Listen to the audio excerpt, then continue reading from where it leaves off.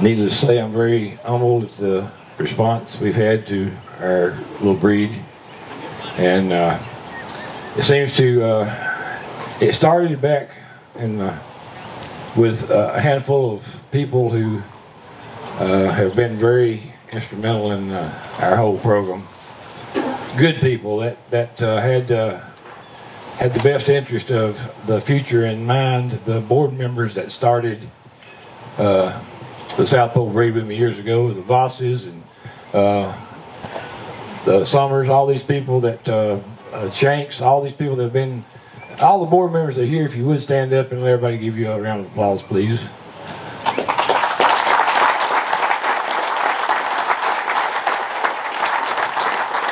We, we, couldn't, we couldn't do it without you. Um, got uh, several things I want to, I'm not very much of a good speaker, so you have to bear with me. I entered, uh, I had a teacher that talked me into entering the, in 4-H club, entering the speaking contest back in, when I was in the, I think I was in the seventh grade. And so I said, well, I'll give it a try.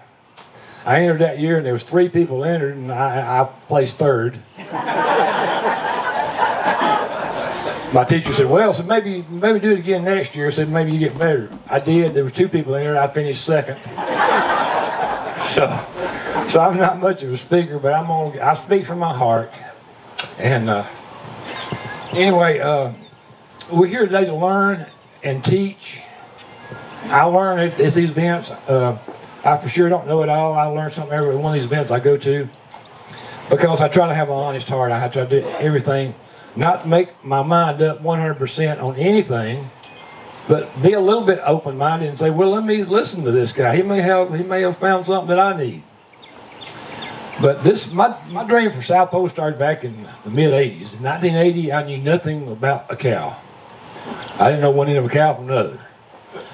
Um, I, I wasn't raised around cattle. I had my grandfather raised me. I had a little a little small cotton farm.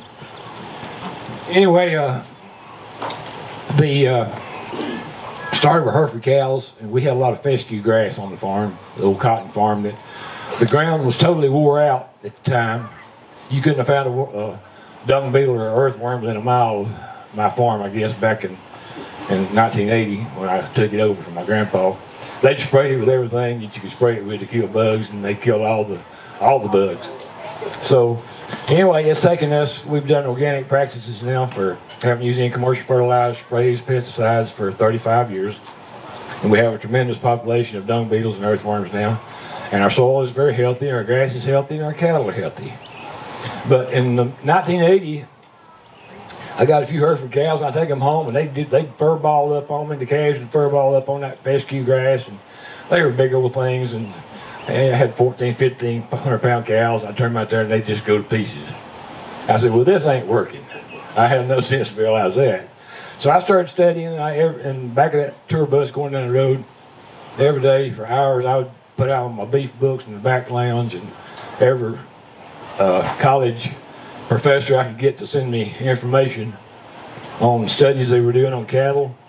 And if we got to a city and I could find an old, old cattleman there that had been doing it for years, I'd try to go out. If it was in 50 miles, I'd rent me a car and I'd drive out and try to spend the day with somebody and learn something the Frank Feldmans of the world, uh, uh, Burroughs out in New Mexico. I mean, these people that I got uh, got to hang around and got to learn from. Bob Crane down in Florida. Uh, but as the uh, after about three or four years of studying my lesson, and I, I said, well, I told my wife one night, I said, I think we in the South we don't have a, the tools in our toolbox to be competitive in a, in a quality beef program all the information I could look at said that Brahma had been used to cross on Hereford to make Braford or Brangus on Angus. But every time Brahma came in, I'm not here to bash the Brahma. They've done a tremendous job over the years at what they do. But if we get into a quality meat program and we're trying to produce it off the grass, then the Brahmas didn't fit into the picture. Every time we looked at studies, every time you looked at shear force test, the meat got tougher as the more Brahma that was involved in it. So I said, well, told my wife when I said, I want to try to build a breed that's tender off of grass that will compete with English cattle because someday there's a big hole in the meat industry now. One out of every three steaks that goes through our industry is out of the South. And it's probably got Brahma influence. And it, it got connective tissue and gristle and dental floss in it that shouldn't be there. It's not comfortable for people to, to go out and pay 20 bucks for a steak or 30 bucks for a steak and, and have, have a bad steak. So anyway, uh, after uh, studying a bunch of breeds, I wanted to use Hereford Angus as my base. And I wanted a red animal, so I used red Angus and Hereford to start with. And then I discovered a breed called the Senepol from Virgin Islands. And the Senepol were the most heat tolerant animal that I'd run into. They were even probably more heat tolerant than the Brahma cattle, or at least as heat tolerant according to the University of Florida, who measured, took the cattle and put them out in the heat, sunshine, would measure their exterior temperature and their interior temperature every hour. And um, the Senepol were some of the most heat tolerant animals. Anyway, so we the, the weakest link I had in my chain was Red Angus. Red Angus were the hairiest. They like they hated fescue. I'd bring some of them in, they would furball up, and I'd lose about half of them in two years. So I had to get the hair off the Red Angus, so Senepol was the perfect choice. Senepol, a lot of the Senepol breeds, some of the Senepol breeds were homozygous for the Senepol, for the slick hair gene. So the, in one generation, the Senepol matched to the Red Angus, you'd have a slick hair calf. So then I discovered a breed, Frank Felton in Missouri turned me on to a breed called the Barzonas. Barzonas were a composite breed put together by the Bard family out in Arizona. Uh, and if you've ever been around Phoenix, Arizona, you look out there and it's nothing but cactus and stuff. You say, well, cow couldn't, couldn't make a living out here. Well, their Hereford and Angus, they had the same problem with their Hereford and Angus I had with mine that they weren't adapted to that environment. So they, got some Afrikaner, non-Brahman Afrikaner bulls from the King Ranch one year and used them. And a couple years later, they used a couple of Santa Gertrudis bulls from the King Ranch. And that's what made the Barzona breed. The Barzonas are known as the hardy breed. They are indeed very hardy cattle. Never have one in the sick, sick pens. Never see one calf. They have small calves, good udders. If they didn't have good udders, the, the others would get drug off out there in those cacti in, in uh, Arizona. So I give a lot of credit to the Barzonas for, there was a lot of magic when the South Poll came together. I wanted to get the good udders and the small calves from the Barzona. Wanted to get the hardiness from the Barzona. The cattle that were very hardy and didn't have to be uh, tended to. If you're a commercial guy and you're trying to make a living off of cattle, you haven't got time for problems. You need problem-free cattle.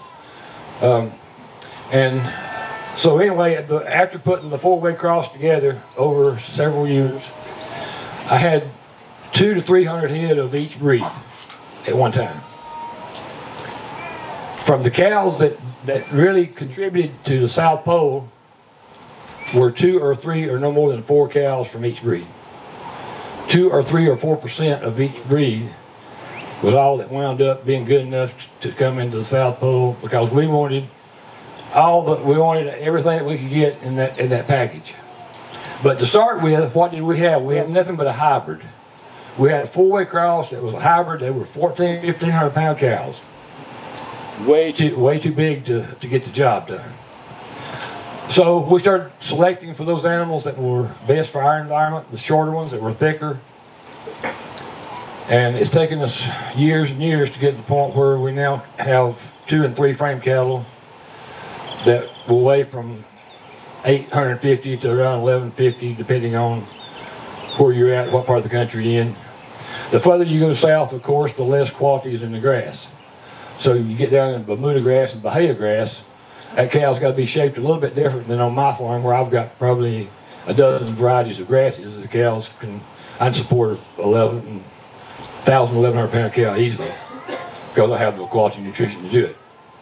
But you get down in Florida on Bahia grass or Bermuda, Bermuda grass, and about all you can, uh, if you the cow, if you don't supplement them any, they got to have a big old barrel, big belly. It's the number one thing that they got to have in order to consume enough grass to make a living off of it.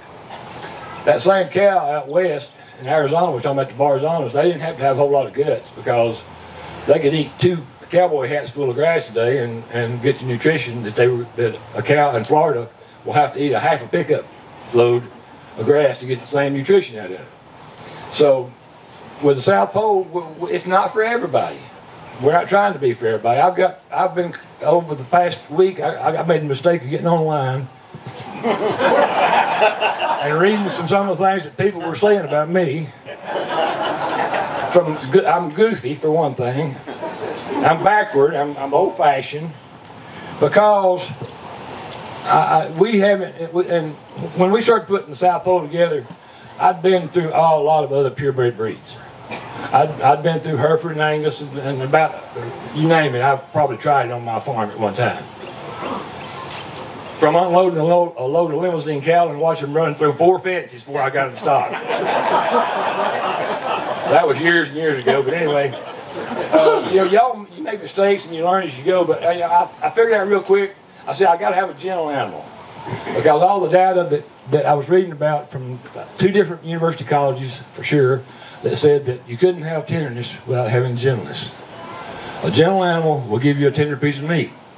A wild animal will give you a tough piece of meat. And this has been proven at two different college tests you look at and see, but they set up a electric eye on these steers in front of 15 or 20 feet in front of the work chute. And when they'd open the work chute, they would measure the time it took for that animal to exit. Those that hauled ass out of there, you know, they were always tough. the ones that took their time and kind of walked out and said, how y'all doing?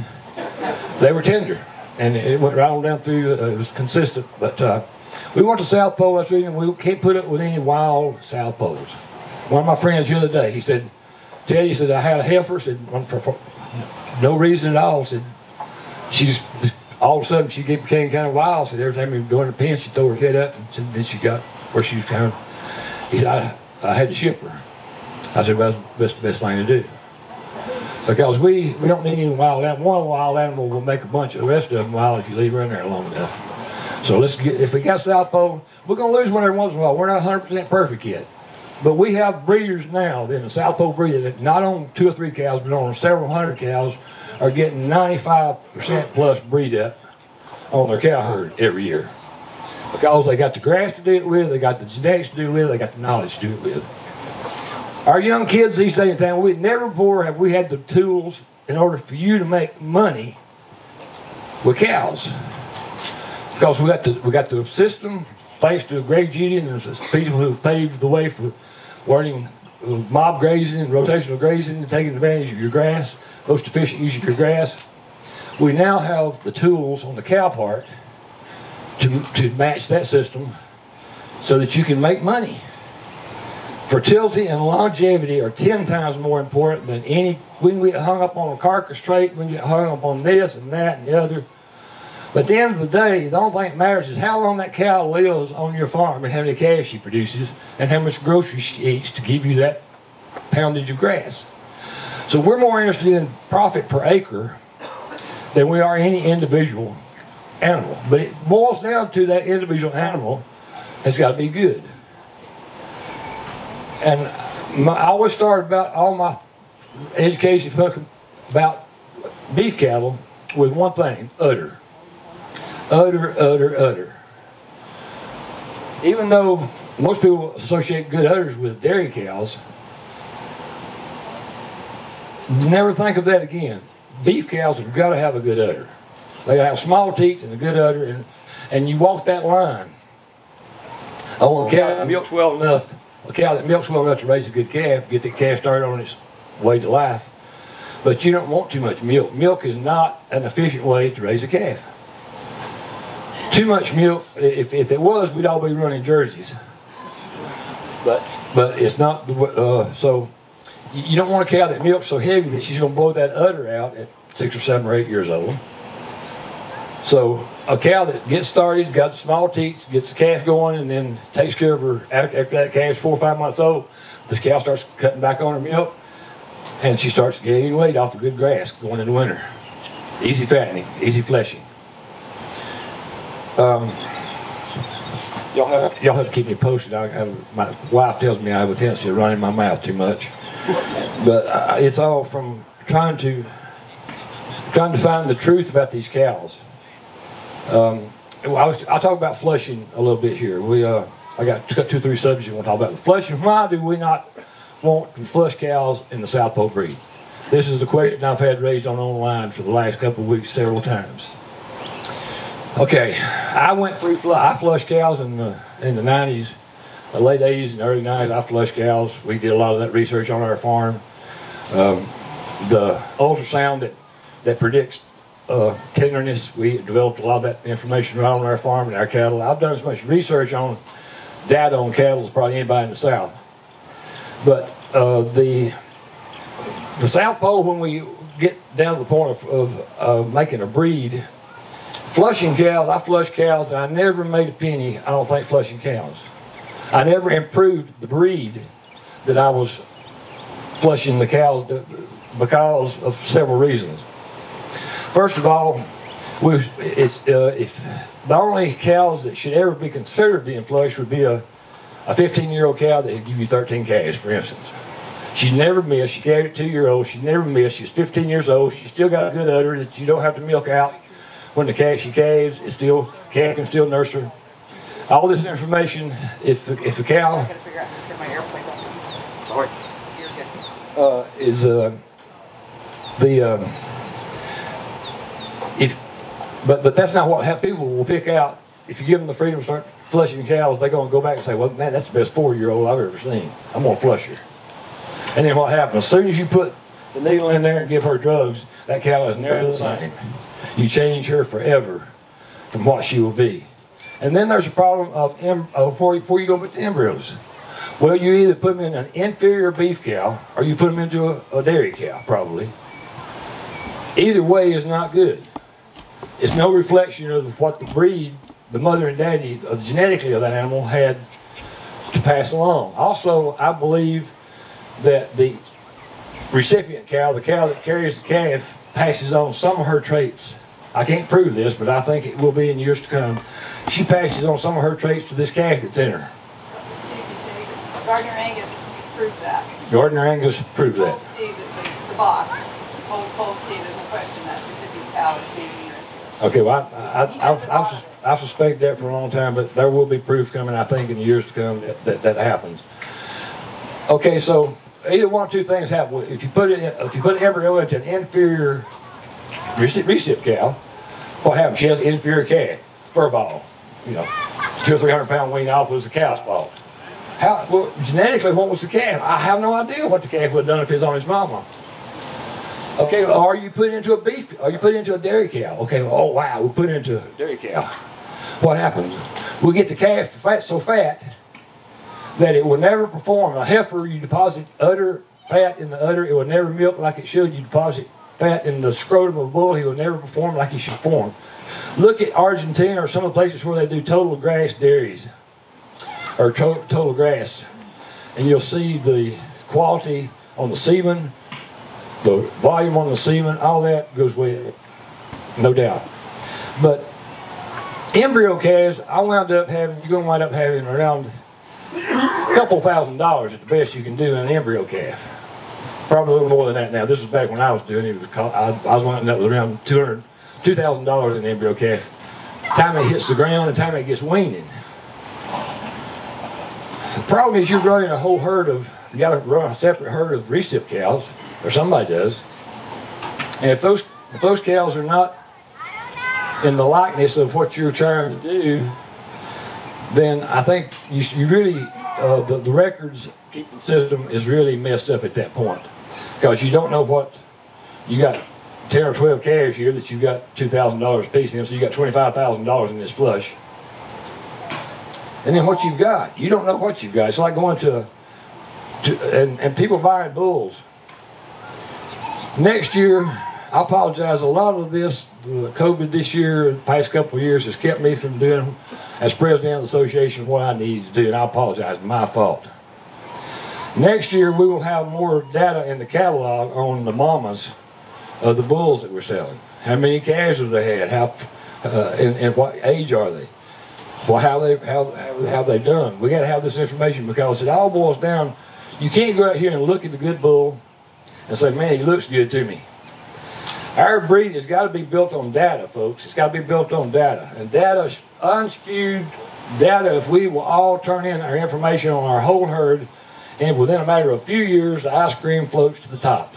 It's very easy. I can go, you look at my records, I look at your records, and we can pick out the best cow in the herd, the most profitable cow in the herd. How we do that? Fertility longevity. I've, I've said for years, we're trying to build a maternal index for the South Poll instead of EPDs because of fertility and longevity is the two traits that matter most and are the most money-making traits for the commercial cow-calf producer. Always have, always will be. 10 times more important than any, any carcass trait. Quit trying to make your cows be a Swiss Army knife to be everything. You can't be the most perfect carcass animal. It, it, you know, even though South Poll will carcass, our, our, our carcass uh, will run with English cattle, I feel very confident. And we won, we actually won the taste panel test down in Florida, the University of Florida, if you want to check out that out uh, above several of the different breeds, including Wagyu crosses were in there, Devon crosses were in there, Angus were in there. And their 28 panels that they had trained to judge me at, in a blind taste test after three days, after three days, South Poll was picked number one. But we don't promote that. That's not what we're here about. We're not, we just want to be in the running for carcass. We just want to be acceptable in the mix with Hereford and Angus, English cattle. But what we want to do best is be the cow-calf king of the South. That small cow that's efficient, that can that can give you I use the example, and don't change. You, you, you, you take two 1,500 pound cows and give me three 1,000 pound cows, and we're both supporting about 3,000 pound of body weight. We'll say your cow, we'll give her the credit. We'll say she's a good cow, big cow, 1,500 pound cow. She weans off 600 pounds of calf. And my little 1,000 pound cow weans off 500 pounds of calf. How, how, how, who's, who's going to make the most money at the end of the year? My little cows will. I challenge each one of you, if you don't believe in the little cow philosophy, go back and look at your own cows. I will say that the most fertile cows in your herd, the, calf, the most fertile cows in your herd the calve in the first 21 days are probably the smallest cows in your herd. On average, on, uh, yeah, is that's a rule of thumb. The biggest cows in your herd, the biggest cows in your herd will, I think, over a period of time, unless supplemented, will slowly fall to the wayside as far as they would be the first cows to to maybe miss uh, that that first cycle they're calving in the, in the second cycle then.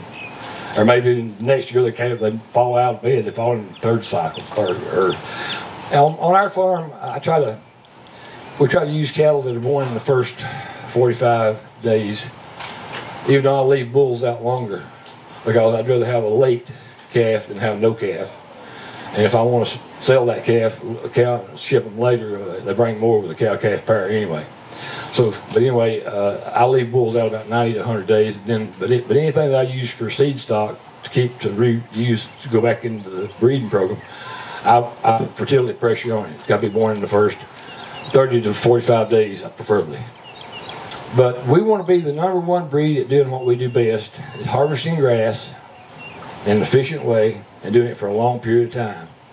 And a cow that can go through the winter without having to supplement them. So we need easy fleshing, easy fattening cattle. The next thing that we have to do is, is have line bred cattle. If, if folks don't know much about line bred cattle, um, it's like seed corn. How many people in here are familiar with seed corn? They've planted corn before. Okay, it says on the bag of hybrid seed corn, so don't keep the seed from this and try to replant it next year. Why does it do that? Because it's a hybrid. It cannot reproduce itself. The first four-way crosses we had on South Poll were nothing but we go hybrids. They could not, it was impossible for them to reproduce themselves. So before you go out here today and find an animal that looks great, look, you better find out if he's got if he's got any line bred into him at all. Is he your first generation? If he is, he's not going to breed what he looks. Educate yourself, folks. There's there's cows out here today. There's, a couple cows out here today that I would not take home. I did not do. I did not get out and look at all the cows this year and okay every cow that went into the sale. We left it to the discretion of the, of the, the people that consign cattle. And it's not not not a bad thing. I'm just saying there's a cow out there that I saw that had calved. Before she calved, you couldn't tell she her udder was, was was too big. Her teeth were too big. After she calved, she's not a cow that needs to represent our breed. But anyway, we've, like I said, we've made any mistakes. Anything you see here today, I'll, I'll accept the responsibility for it, but use your own discretion, use your own judgment. And don't get caught up in the fact that just because it's the South Poll, it's worth a lot of damn money. Don't do that because, thank you, give me a round of applause, But, but you know, a cow is, you know, if, if a cow's going to be worth $4,000, uh, bred heifer, she better stay in your herd till she's 15 and give you 13 calves if you're ever going to make a dollar on her. Because it's going to take you four or five years to even break even, maybe six years break even. I'm sure according to what your expenses are, it's going to uh, differ from farm to farm. But I got a little thing here I wanted to read that uh, talking about, uh, but line breeding is a necessity. If you don't have the concentration of genetics in an animal to control that mating, then you have a random mating. But if you have as much as 40 or 50 percent of one animal's, say you back back three generations, you got four generations, you got 16 grandmas back here in, the animal's pedigree. If, if half of those grandmas are the same, then you have 50% of that grandma's genetics in this calf. And this and he will produce the odds are he's going to produce his genetics are concentrated so he has less variations of what the calf is going to be. Dr. Jan Bonsma, who I think was one of the probably one of the best uh, cattlemen that ever walked the face of the earth, he could tell more about looking at the cow that he knew nothing about than most people could that owned the cow. And this is from Dr. Bonsma's Dr. Bonsma's son was talking about Dr. And he said, my father often stressed the point of being a master of observation. The point has been driven home to me many times as a, as a professional hunting guide. The more observation and attention to detail, the more success is accomplished. The understanding of observation can be a powerful tool. My simple understanding and appreciation for Dr. Bonsma was his ability to just observe nature and what God created, his ability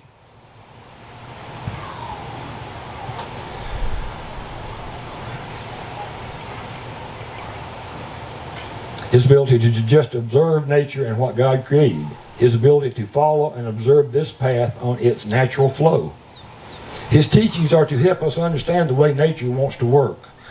To understand is to observe the nature flow and to swim with and, and to swim with it. The battle of fighting this nature flow will never be won. If you got black cows and they're standing out in the pond with their tongue hanging out in July, you will never win the fight with black cows. They're, you're fighting Mother Nature. It's not, it's not that. They, they can't work.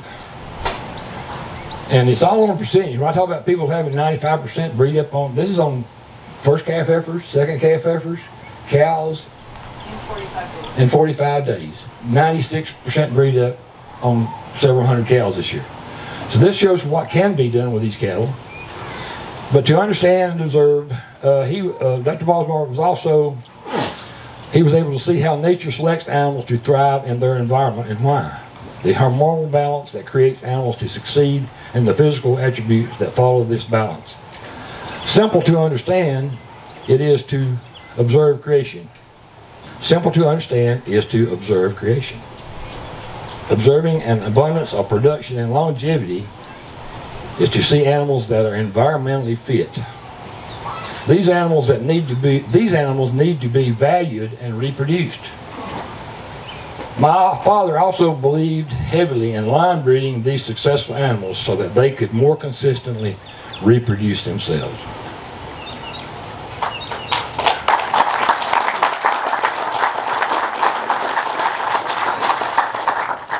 And I'll talk about one other subject here. Uh, uh, we've had discussion on purebred and full-blood cattle.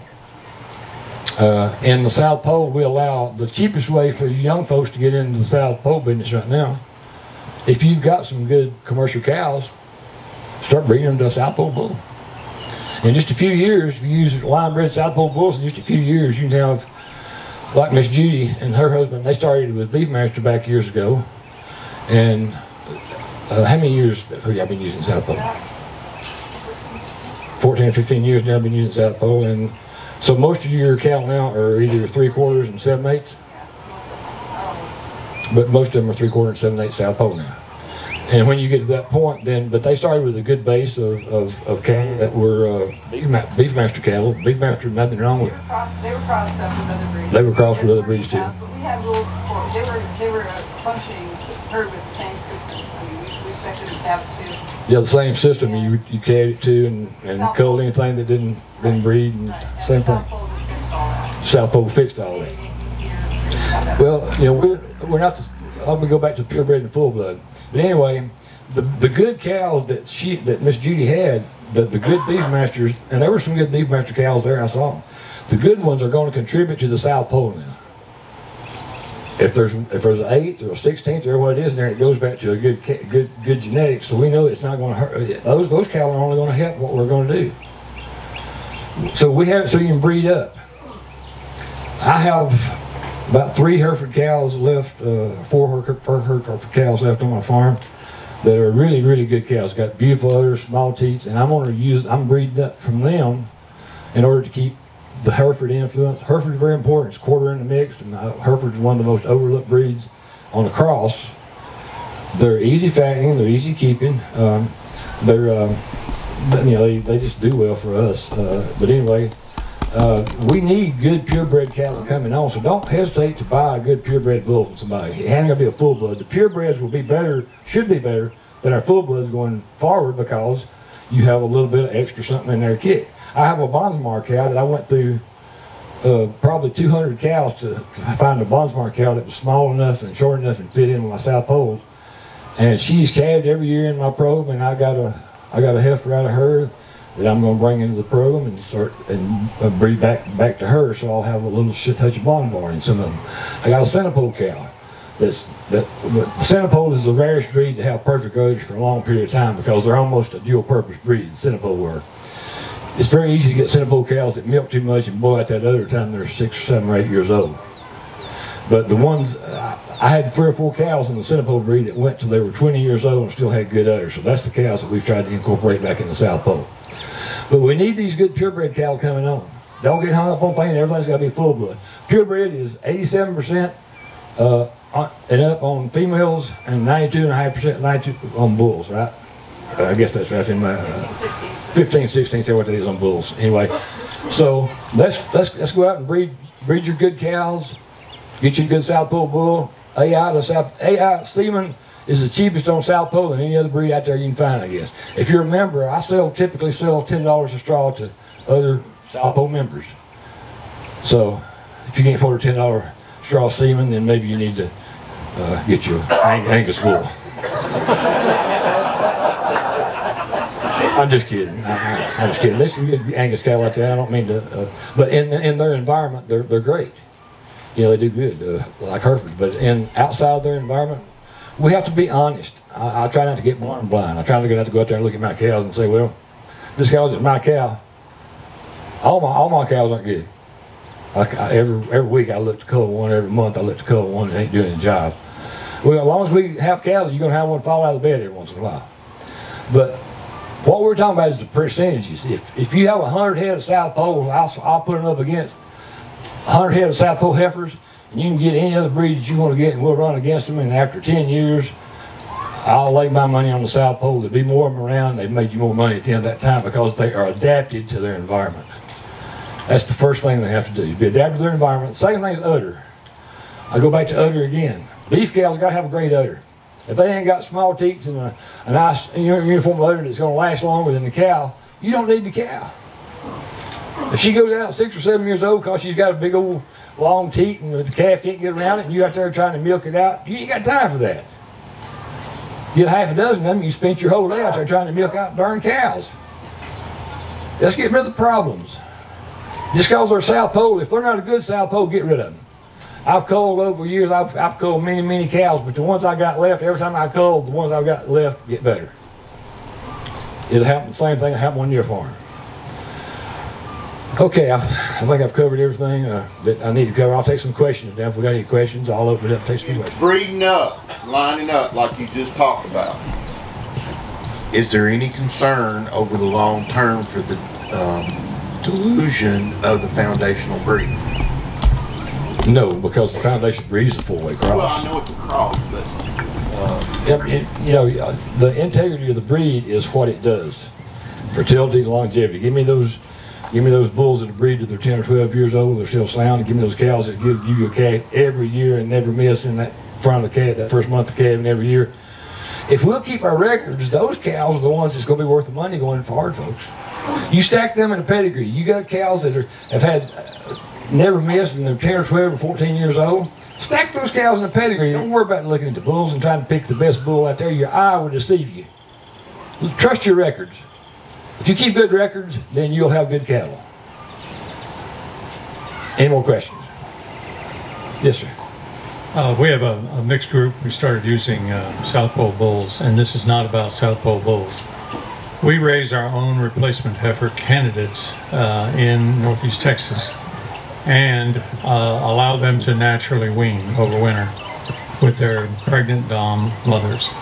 And we and I use the dom's ability then to breed back uh, after she calves and what the long yearling weight might be on a replacement heifer. The question I have though is there seems to be a couple of avenues to get to that replacement heifer candidate. One of which is rough them through. That sounded like what it was you were describing. I'm not against it, don't misunderstand. No, I'm not against roughing too. First calf, I take care of. I, uh, a heifer needs to be about 60% of her mature weight when bulls go out with her. If it costs you a couple hundred dollars in getting some some good hay in order to keep those heifers gaining a pound, pound a quarter a day, you have to do that. If you if you make them rough it, uh, then that that heifer you can't you may have to wait and, and a three year old. But to me, it's worth the South Poll or physically the the ideal South Poll to me is is physically a cow at two years old, and she should at that point not have to have extra supplement in order to breed back and and fit into the herd. She should be shaped like a cow at that point. She shouldn't gut up when she calves. But um, yeah, it's a it's a fine line to walk between. You know, you can't. I don't want to. I don't want to feed them corn. But if you got some good hay that you keep those heifers uh, from time they're weaned, our heifers will gain. You know, we, we, we leave the heifers on the calves till they're nine or ten months old. And then we just cross the fence with them and there's no stress on the calves. They go on. The mama's proud, proud to see them going at that time. Uh, but, uh, you know, calves go on. But at that point, those calves, they got to keep gaining weight. They have to, you know, I, I like for my heifers to be up around um, 600, 650 pounds by the time we turn bulls out this time of year when we calve in April. Second part to my Yes, sir. question, which is a follow-on to what you said, I think, is our we aim to uh, have the first calf out of a heifer at age two, and one of the challenges that we have in our place in Northeast Texas is then to get them to breed back to calve next year. Um, I have considered the notion of some kind of supplemental program because that first calf heifer is not only growing, she's also feeding her offspring. So how do you manage those? Well, uh, I firmly believe that if you get your cows two inches too high, you have that big problem as a two-year-old. If you get your uh, the frame two and three cattle and you frame two and three bulls that have got sub- substance and early maturing, then early maturing is what we want. We want those heifers that are a cow at two years old. They're shaped like a cow. They don't gut up when they have a calf. And you haven't got to give them that, extra supplement. But if they're just a little bit too, if they're still in that, if you, if your long growth curve, if, your cattle are still in that too long a growth bone, I call it, or too long a growth curve, if they're not maturing to three years old, if they're still trying to breed back and all that, then you you probably will have to supplement a little bit to get them breed back. But the pride we ha- we we supplement. We don't separate our two year olds. You separate your two year olds. You do. You give them extra supplementation. No, but we make sure plenty of grass. Yeah, they get the ice cream Got- grass. They got, well, all of them have to have plenty of grass. Yeah, they all have to have grass, but but yeah, but Plenty of grass. yeah, but anyway, uh, I, to me, it, uh, we don't supplement those two years old, and we we expect them to fit right in with the cows. But I've been doing this for about 35 years, and, and if they're too big, they don't fit in my program. If they come, if I have to do that to them, I'll get rid of them because they're they're, they're not the right kind for what we need long term. Thank you, sir. Uh, again, I, let me give let me give the thanks to the to the my, my my Lord and Savior Jesus Christ for letting me even be here today, and and and and in years, in years to come, I want the credit to go to him. I didn't do this. He led me through it. I had times when I wanted to give up.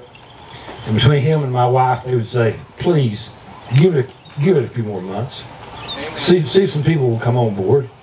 I was on an island by myself. I felt like trying to tell people that little cows were, need, we need to get our cow herd size down. Need to get away from these big cows to make money. And I felt like that for a long time, I felt like I was just on an island and everybody else was going the other way. But now then, to see this many people here at, uh, on a farm in Tennessee, it does my heart good. But I want each one of you to know that we want this to be the most real thing that you've ever done. I'm on the side of the new people getting in. Most breeds are on the side of the of the big high pyramid breeders. They want to sell you a ten thousand dollar animal, and then when it comes time for you to have a sale, it's probably worth two thousand. Let's, let's not let that happen in this breed. If you come and buy a cow from me and you take care of it, and a year later something happens that you decide you don't want to have this cow anymore, I'll give you the same price you give me for that cow. If all of us as breeders would do that, if we will back up what we say, and in our breed, we've been able to cut out the ringmen, the auctioneers, and all the 25% expenses it comes to have a sale. We can put them up on the website, and they're gone in a couple of weeks. If you, if you got cows to sell and you ain't got anybody to buy them, call Dave Roberts. We got people all call Dave every day saying, hey, where can I buy some South Polls? Even half bloods, three quarter bloods. If you're breeding them, we got we got people that are wanting to buy them and breed up. They're the best choice to have in the South. But we want to be real. We don't, we don't want to ever feel like that that we're not the, the common commercial cattleman that's trying to make a living and young people that are trying to get into the business. You're the ones that I want to influence. These old people, they, they probably ain't they're too far gone probably. But you young folks, y'all still got a chance to lock on to what's happening get the real world out there and forget all the bullshit and the crap and, and breed cows. Good, good cows that give you a calf every year and harvest grass in the most efficient manner possible and make a living at it. Make money at it. There's nothing wrong, Greg, Greg, Greg Judy says, there's nothing wrong with making money in the cattle business. It's a rarity, but there's nothing wrong with it. But I, I love being here today. Um, I got another five minutes. I'll take some more questions. Do you have any cows to sell? I got any cows for sale? I always got cows for sale. I'm in. But, uh, yes, sir. We, question, we've got two or three, four thousand people on South Poll.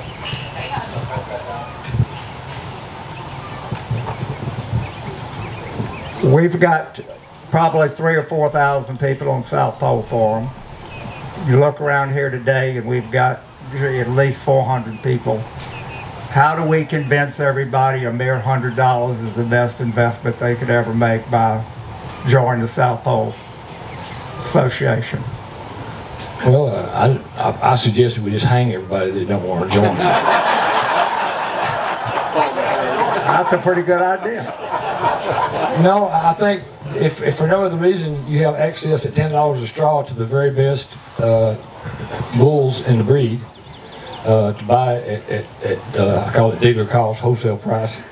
But uh, you know, and and, we, and maybe we don't, maybe we're not for everybody. You know, I'm not trying to get everybody. I only want, I only want to get those people that are serious about making a living in the cattle business. Those guys that want to take their picture. That's why we don't have show.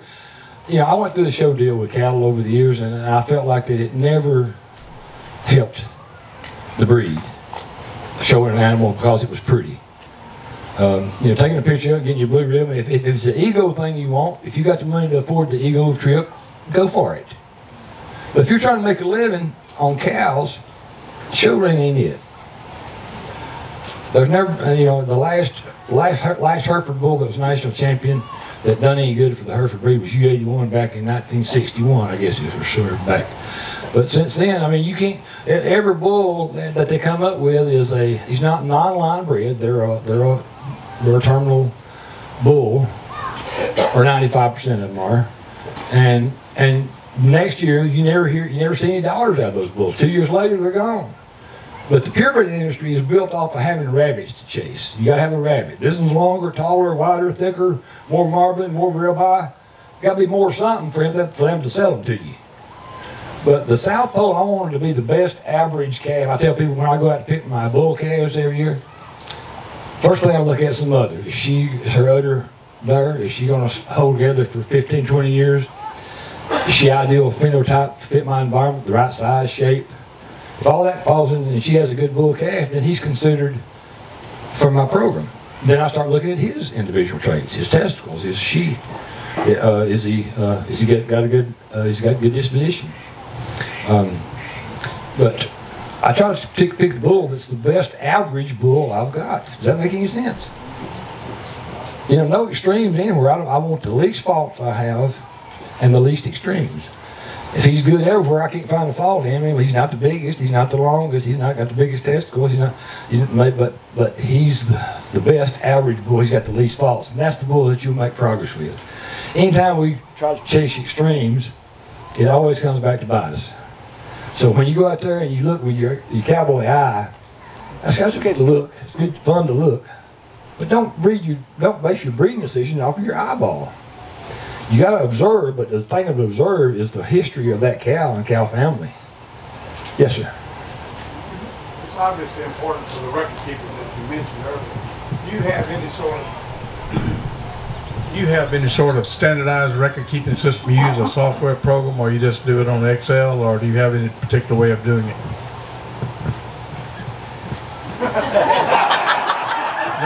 I'm talking about Bent Tree Farms. We we we keep uh, our individual records and try to turn in. We uh, believe in turning in all of our cows, 100% uh, totals turn in to uh, performance on the cows where they're open, if they lost a calf. If we turn all this information in, then over a period of time, it's very simple to look at rec good records and, and identify the best seed stock that's in that guy's herd. Follow up on that, being a CPA, I guess, but the uh, is the association considered trying to come up with a standardized? We are we are looking at several different things. We're currently working on what's called a maternal index, which will uh, give a cow cow credit for fertility and longevity. She'll earn stars at each point in her career. In other words, if she's 10 years old and has got has, has had eight calves, she may get a silver star. You know, but uh, they'll have to. We'll have to. We're trying to come up with that standard so that her number will change every year, her fertility index, I call it, or profit index. It would change every year depending on her calves and how they perform. If they're above average of, of the, the group as far as fertility longevity, then her numbers will continue to raise. If we stack those cows in our pedigree, we can't help but make progress. Yes, sir.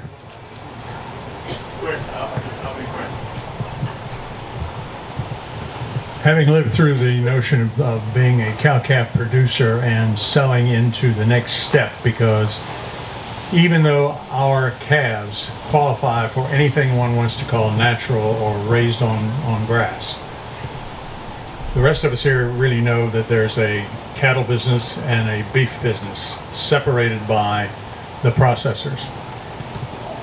I am looking for someone who could both finish my calves, retained ownership or not, but finish my calves, process them, and put them into the retail market. I know the most of the successful people here are sort of, I'm going to use the term face-to-face uh, versus direct sales, and I understand the uh, philosophy about that.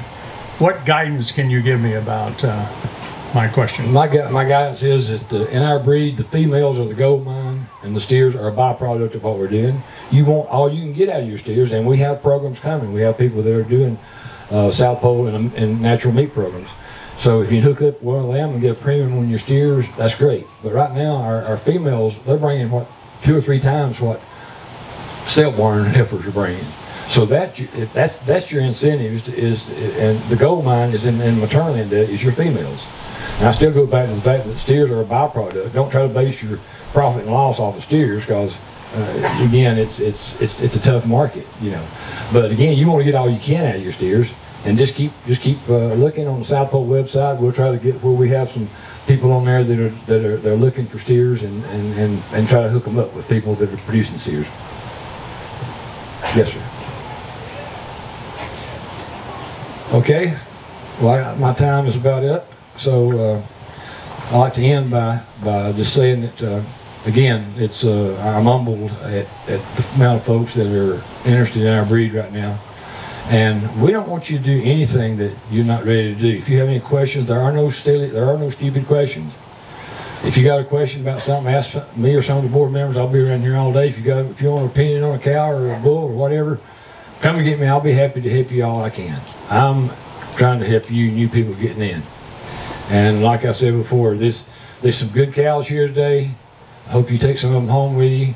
Um, but use your, you know, educate yourself on what you're trying to do, and, and the closer you can get cattle to your environment, the better off they'll be. They'll be. Somebody asked me, well, said, will these cattle work up in in uh, Kentucky? Said it gets cold up there. I said, well, uh, you know, we have cattle that are up further north than you in Pennsylvania and Minnesota and different places. We don't recommend you take South Poll and the slick-haired animals here into that, that those environments.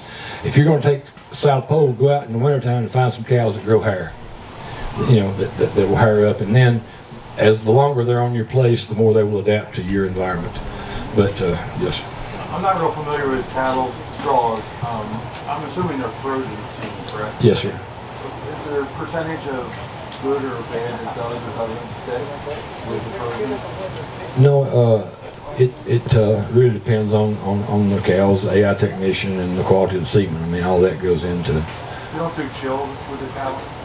I've never, I've never done chill, but uh, Somebody, maybe somebody here that does a lot of AI can answer that question more than me. But I, I guess that we'll get somewhere in the neighborhood of uh, uh, 60 or 70 percent conception on AI